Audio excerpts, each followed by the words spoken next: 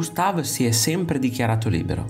Lo ha detto in una delle frasi più famose della storia dell'arte. Appartengo solo alla libertà. L'artista in questo dipinto ha 25 anni e si guarda allo specchio. Vede un volto disperato e si dipinge così, con ferocia autentica e con una, una punta di autoironia.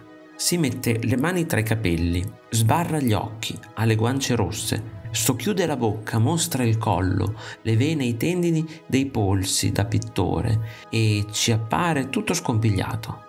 Courbet qui adotta un formato orizzontale e rettangolare, allorché tradizionalmente questo tipo di dipinto richiedesse il formato verticale. L'approccio romantico di questo ritratto è legato all'espressione dell'emozione e si inserisce in questa tendenza, anche se l'artista non si è mai definito come un pittore romantico. Non si sa se il titolo di questa tela qualifichi la disperazione del personaggio, quindi dell'artista, o se si tratti di un esercizio teorico.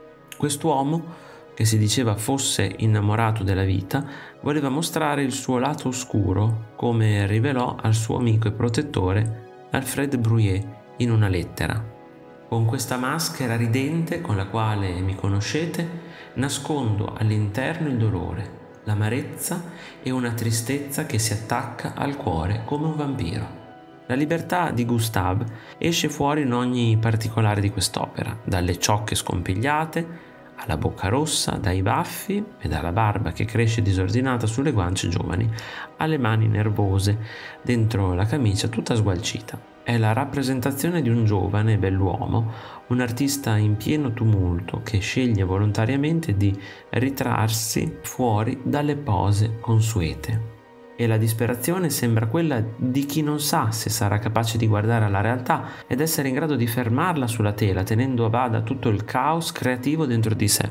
Una disperazione creativa, forse, che tutti gli artisti ritrovano davanti ad una tela o a un foglio bianco. Se ti è piaciuto il video iscriviti al canale, lascia like e condividilo con i tuoi amici. Ti invito anche a visitare il mio negozio. Un saluto e al prossimo video di Arte Esplorando.